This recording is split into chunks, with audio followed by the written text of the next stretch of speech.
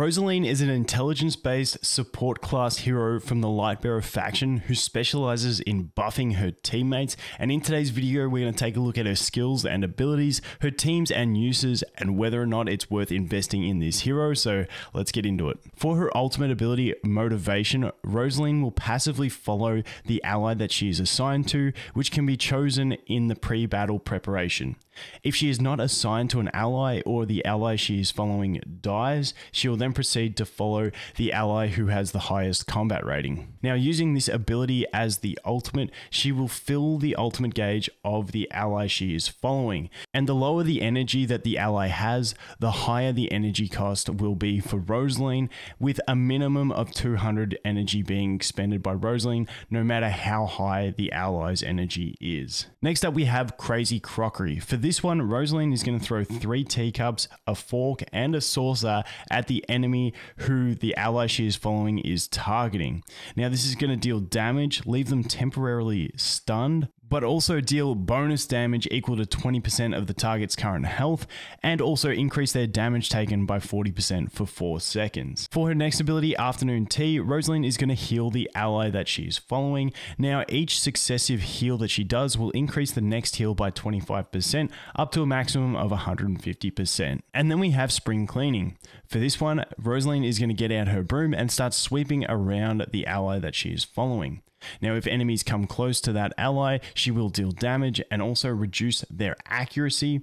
And if the ally she is following is a back row ally, then she will actually knock back the enemies when they get close as well. For her signature item, Rosaline is going to increase the attack and defense of the ally that she is following by up to 30% of her own. And at level 30, it's going to have the added effect of increasing the ally's crit rating and dodge rating by 25% of Rosaline's own. And finally, we have her furniture ability, Flying Crockery. For this one, when the ally that Rosaline is following lands a normal attack, Rosaline will manifest teacups that will mimic the effects of her Crazy Crockery ability, and this can be used up to once every 2.5 seconds. And for level 9, it can be triggered up to once every 0.75 seconds. There are two main teams that we're going to focus in on in this video for Rosaline, one being a Gwyneth team and the other being a Mehira team. The Gwyneth team that that we'll look at will consist of Arthur, Estrilda, Numisu, Gwyneth, and Rosaline. Now, the reason Rosaline synergizes so well with Gwyneth comes down to Gwyneth's signature item.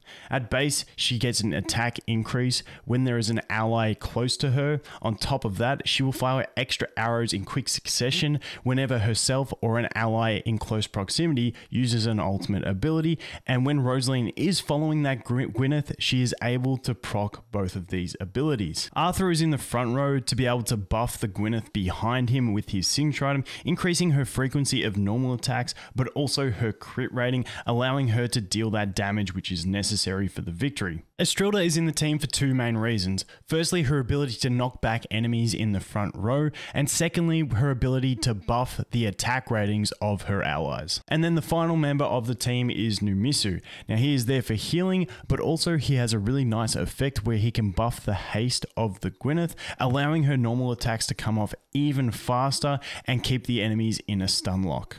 For the Mehira team, Rosaline is a core piece along with Mehira herself and also Rowan. Between the three of these units with Rosaline following a Mahira, they can almost endlessly keep the enemy team charmed. For the remaining two spots, there are many options. For this case, we're going to go ahead and use Lyca, but also Raku. Now, Lyca comes into it because this team really wants Mehira to ult as fast as possible, which is why we have Rowan with his energy potion, allowing her to drink that and get to the ult faster. Lyca adds to that, giving her extra energy at the start of the battle.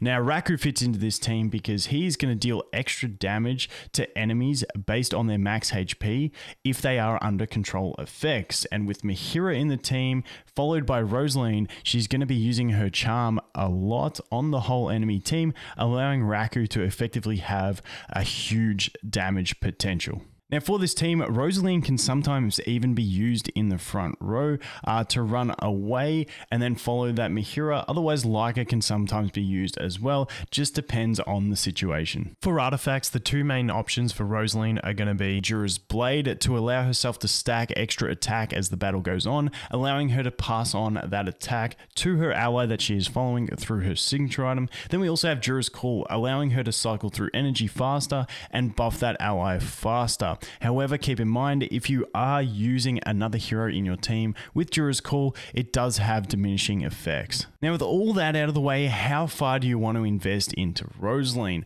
For this one, keeping her on that wish list and getting her ascended is going to be really nice. This will increase her base stats, allowing her to transfer more of those stats to her ally with her signature item. Now, for signature item, level 20 is a nice save point. You get all that attack and defense transferred. However, you do miss out on the crit and dodge of the level 30 signature item, but there are more important heroes to get to level 30 signature item before you start looking at Rosaline, and it's not completely game breaking. Crit and dodge are both RNG based, so you can retry battles to get those effects. As for her furniture, you can invest into it if you want. However, it's not really required due to the fact that the two main teams she synergizes with are very heavy on control abilities. You don't really need those cups to be stunning the enemies so frequently because normally they will be under control effects. So that is going to be it for Rosaline, a specialist in buffing her allies and really enabling another ally to carry your team.